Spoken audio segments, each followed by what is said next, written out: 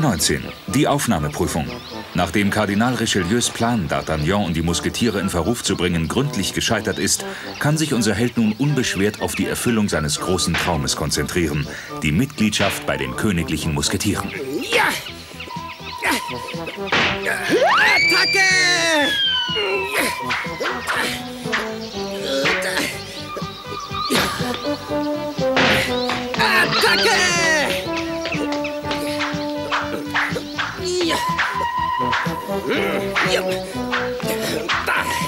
Du Schuft! Tod dem Verräter!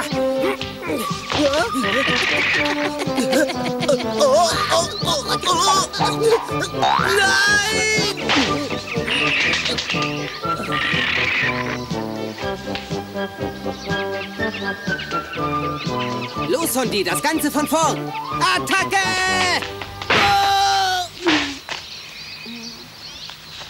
Hm, gut gemacht. Nur nicht Attacke! aufgeben, du wirst immer besser, mein großer Held.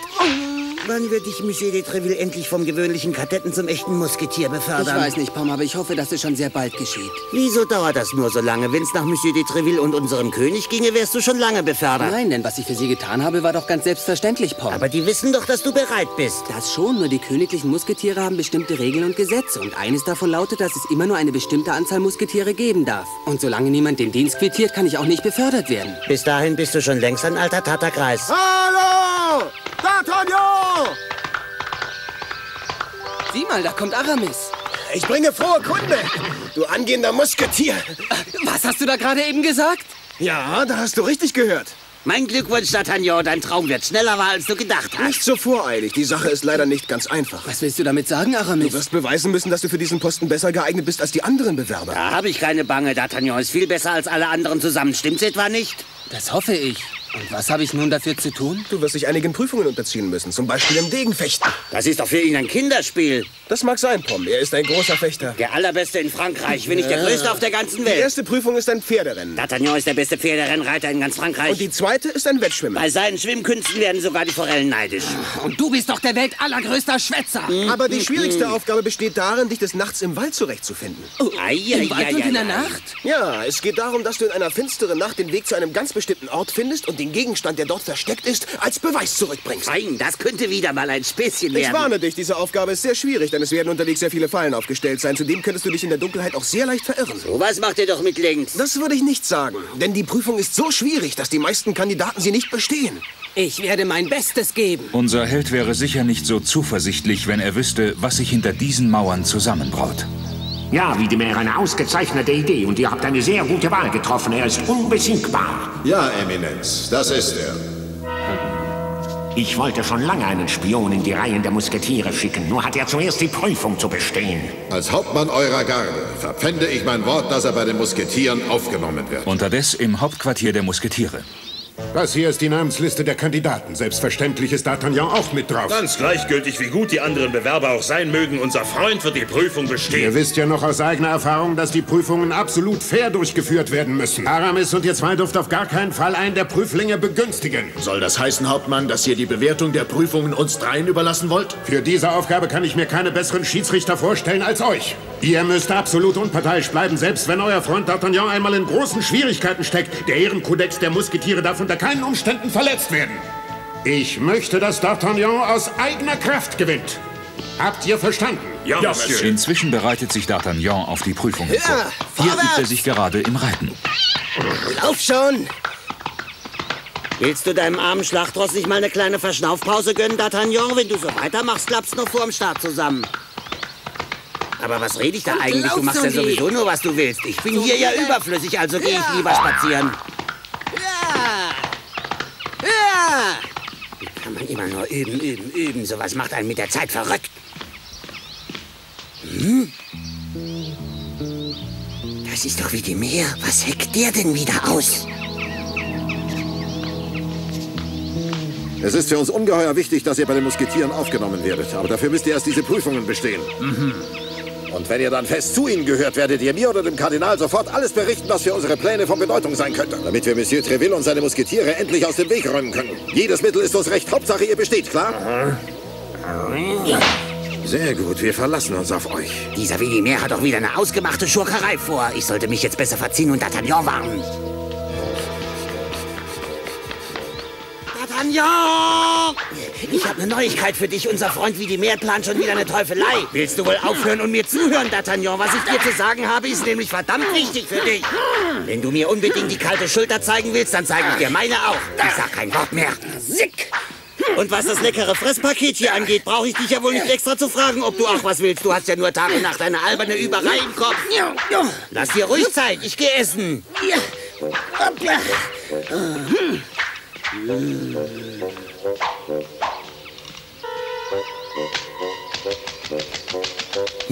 das riecht ja gar köstlich. Juliette verwöhnt ihren D'Artagnan wirklich nach allen Regeln der Kunst. Na, wenn das nicht die wahre Liebe ist. Geh zu deiner Mami, du ausgelaufener Farbeimer. Bei mir gibt's nichts zu schnorren. Boah, ich hab einen riesen Hunger. Gib mir ein kleines Stückchen ab. Du tickst ja wohl nicht ganz richtig im Oberstübchen. Die Sachen hier sind für D'Artagnan und mich bestimmt, klar? Boah, ich will nur ein winziges Stück. Sei lieb. Nur über meine Leiche und jetzt troll dich. Boah. Was ist denn nun los? Oh, nichts. Ich sterbe bloß vor Hunger. Boah. Hey, Hartmann, Momentchen, hast du wirklich so einen riesen Hunger, Kleiner? Na, in dem Fall werde ich mal eine Ausnahme machen. Was? Bin schon da. Hey, nicht ganz so gierig, Kleiner. Lass gefälligst noch was für D'Artagnan und mich übrig. Augenblick noch. Hä? Wasser. Wasser? Hm. Na gut, hier, trink. Ich habe noch nie jemanden gesehen, der so viel auf einmal verdrückt wie du. In dieser Nacht vor seinem großen Tag findet D'Artagnan keine Ruhe. Er schlägt sich mit Unholden und Gespenstern rum, die ihn an der Erreichung seines Zieles hindern wollen. Kann ja nicht wenigstens mal nachts mit dem Quatsch aufhören? Da, da! Na, nimm! Au! Ui! Oh! Hm. So eine Frechheit, das machst du mit mir nicht nochmal. Juliette, mein Liebling. Schon sehr, sehr bald werde ich ein richtiger Musketier sein, das verspreche ich dir. Ah, der Junge will also ein richtiger Musketier werden. Nur wenn der so weitermacht, wird er seinen hübschen Traum wohl bald ausgeträumt haben. Hm, nur keine Bange, D'Artagnan. Ich werde dir dabei helfen, dass dein Traum auch wirklich in Erfüllung geht. Hast du was gesagt? Nein, nein, gar nichts. Schlaf ruhig weiter, du hast morgen einen anstrengenden Tag. Endlich ist der große Tag da. Fast ganz Paris ist auf den Beinen, um mitzuerleben, wie die besten Fechter und Reiter des Landes um die Ehre wetteifern, in die Reihen der Musketiere aufgenommen zu werden. Die Teilnehmer sehen ja richtig schmuck aus, wie echte Kavaliere. Nimm dich vor dem Fettwanz neben dir in Acht, D'Artagnan. Sie!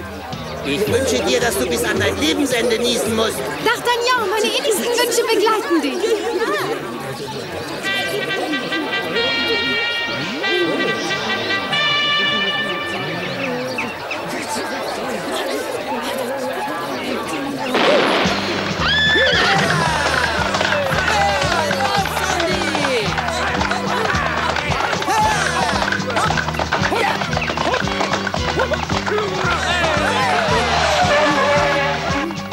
D'Artagnan wird gewinnen, ich fühl's in meinem Herzen.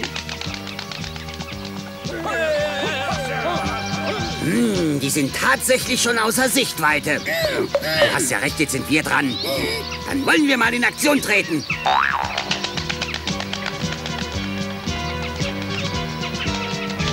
Mhm. Ja! Ja, lauf, Sandy!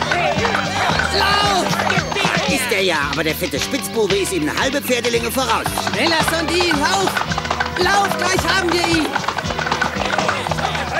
Das sieht aber gar nicht gut aus. Wenn Sandy noch lange so schnell rennen muss, dann ist der Traum für D'Artagnan bald aus.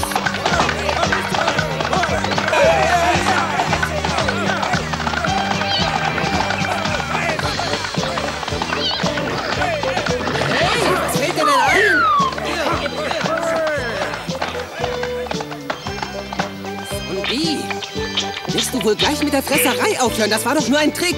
Beeil dich, sonst sind wir aus dem Rennen.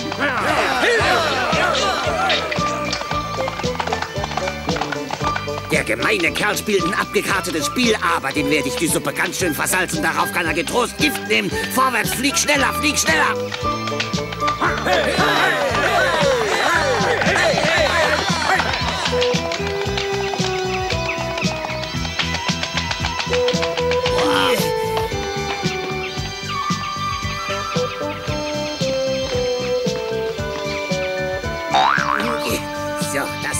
erledigt. Und jetzt noch die andere Seite. So wird es gehen. Jetzt müssen wir nur noch warten. Du versteckst dich drüben auf der anderen Seite und ich mich hier oben im Baum.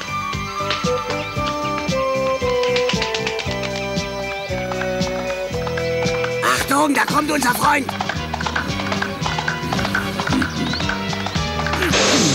Vorwärts, was ist denn los mit dir? Oh wei, oh wei, wird doch nicht.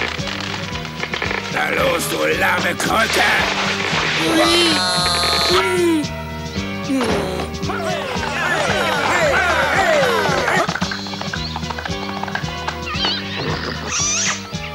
Ui, hallo D'Artagnan. Was hast du denn hier zu suchen, Pom? Stell mir keine so dusseligen Fragen, sondern mach, dass du weiterkommst. Die anderen sind dir schon um Lichtjahre voraus. Lauf, mein Röstchen, lauf! Dieser Trick war leider ein Schuss in den Ofen. Geh wach auf, Lattermann, du kannst zu Hause schlafen. Wir müssen weiter. Ui, ui.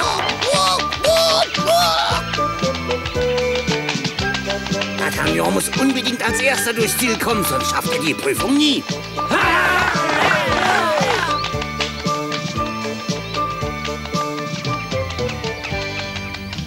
Da sind wir ja schon. Setz mich kurz vor der Mauer ab.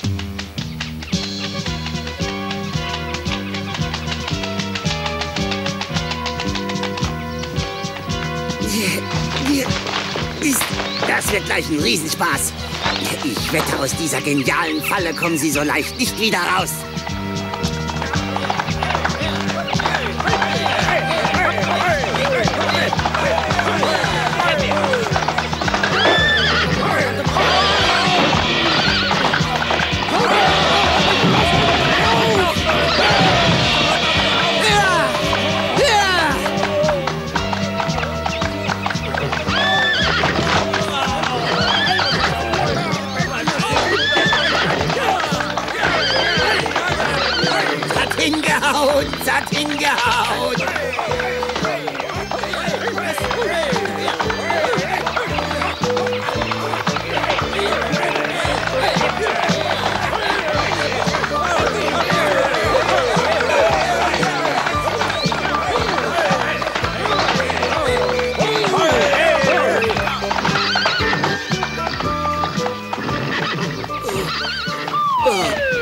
Durchs Ziel, du warst großartig. Tja, D'Artagnan hat's geschafft, aber Sondi ist dafür fix und fertig und erledigt. Na, geht's dir gut, Rösschen? Ich glaube, das war eine dumme Frage. Die zweite Prüfung. Fertig?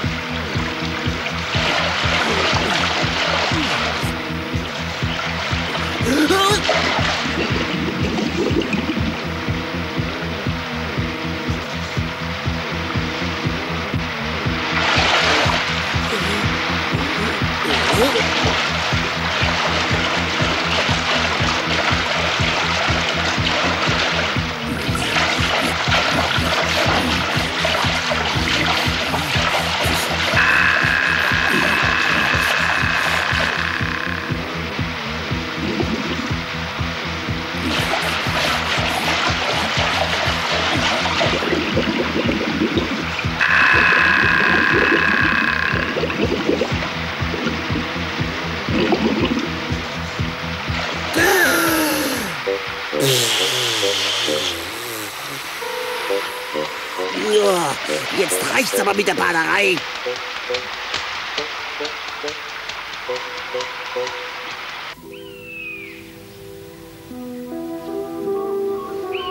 Bis jetzt hat sich D'Artagnan sehr gut gehalten, doch nun folgt die schwierigste Prüfung. Ich wünsche D'Artagnan den Erfolg genauso sehnlichst wie du, Porthos. Aber Monsieur de Treville hat uns dreien die strikte Anweisung gegeben, uns in keinster Weise einzumischen. Ich glaube, wir stecken da in einem fürchterlichen Dilemma. Wieso stecken wir eigentlich in einem fürchterlichen Dilemma? Ich wüsste schon, wie wir ihm helfen könnten. Es sind nur noch zwei Bewerber übrig, D'Artagnan und dieser unfreundliche Fettwanst. Und der scheint sich sehr gut vorbereitet zu haben. Wenn wir D'Artagnan nicht helfen, sieht's böse für ihn aus. Wenn der Hauptmann uns auf die Schliche kommt, dann können wir unseren Hut nehmen. Das ist sonnenklar. Wir helfen ihm. Also einer für alle. Alle für einen! Na, das kommt ja meinen Plänen sehr gelegen. Die werden noch ihr blaues Wunder erleben, wenn sie D'Artagnan beistehen wollen. Von diesem Augenblick an birgt das geheimnisvolle Dunkel des Waldes noch mehr Gefahren für unseren Helden. Hinter mir seht ihr die Karte für eure nächste Prüfung. Am Ende des Weges steht eine Hütte, an deren Tür ein Hut hängt. Eure Aufgabe ist es, diesen Hut hierher zu bringen. Es führt nur dieser eine Weg dorthin. Trotzdem könnt ihr euch leicht in der Dunkelheit verirren, also merkt euch diese Strecke. Wer von euch den Hut in kürzester Frist zurückbringt, hat die Prüfung bestanden. Der andere wird disqualifiziert. Ja, Monsieur. Und jetzt wird Gun als Erster gehen. Hört gut zu, wenn D'Artagnan hier vorbeikommt, dann sind wir für ihn unsichtbar. Und wenn diese fiese Type von Gun auftaucht, dann stürzen wir uns auf ihn. Alles klar? Dann los auf eure Posten.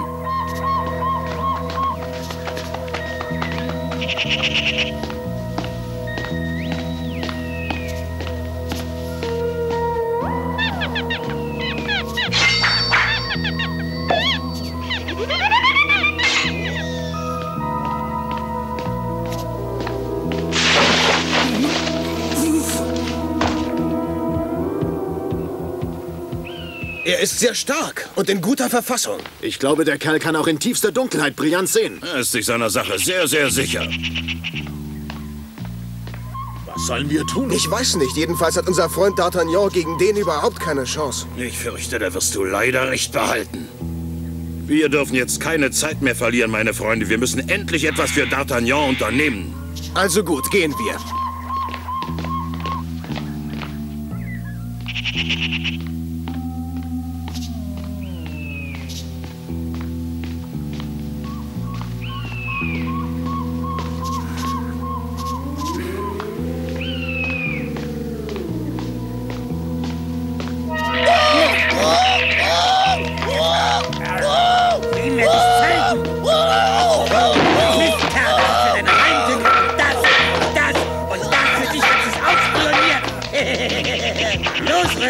Gib es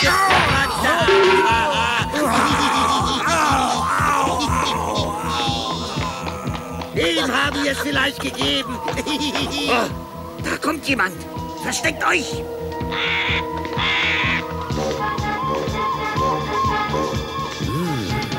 Das wäre ein wunderschöner Hut. Der ist für D'Artagnans Glatze viel zu groß und auch zu schade.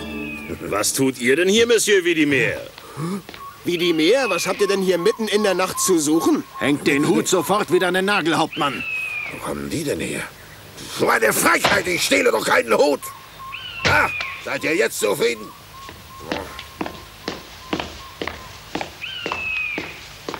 Wie die Meer? Ihr habt vor lauter Wut euren eigenen Hut hier liegen lassen. Da!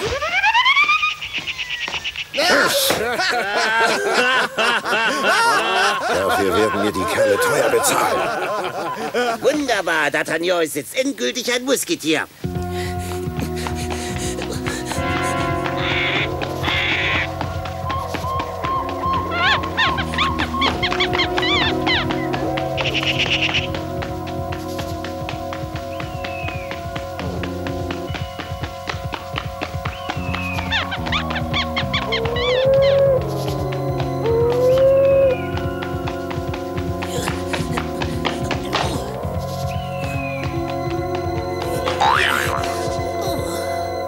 D'Artagnan hat alle Prüfungen bestanden. Und der König wartet. Meinen Glückwunsch, D'Artagnan. Ab heute gehört ihr offiziell zu den Musketieren. Moment, Majestät. Dieser Kerl ist nicht würdig, ein Musketier zu sein. Wieso denn das, Richelieu? Er hat doch alle Prüfungen bestanden und sich eines Musketiers in jeder Hinsicht als würdig erwiesen. Das sieht nur so aus, Euer Majestät. Ich habe zuverlässige Informationen, die mir sagen, dass es bei den Prüfungen nicht korrekt, geschweige denn unparteiisch zugegangen ist, Euer Majestät. Und wer behauptet sowas? Hier ist er, Euer Majestät. Hm.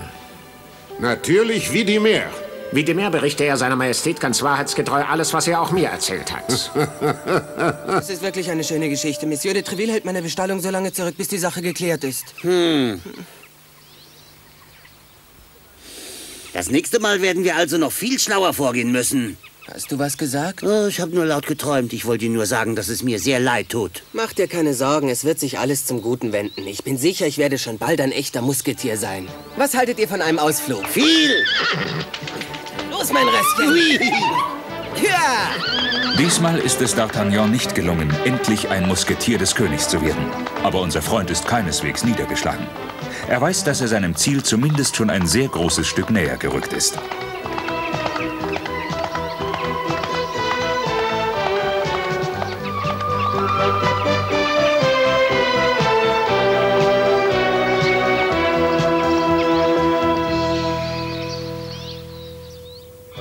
Der nächsten Folge erleben wir, wie Vidimer und Rochefort von einer geheimnisvollen alten Frau in ein Komplott gezogen werden, um die zweite Hälfte einer verborgenen Schatzkarte zu finden.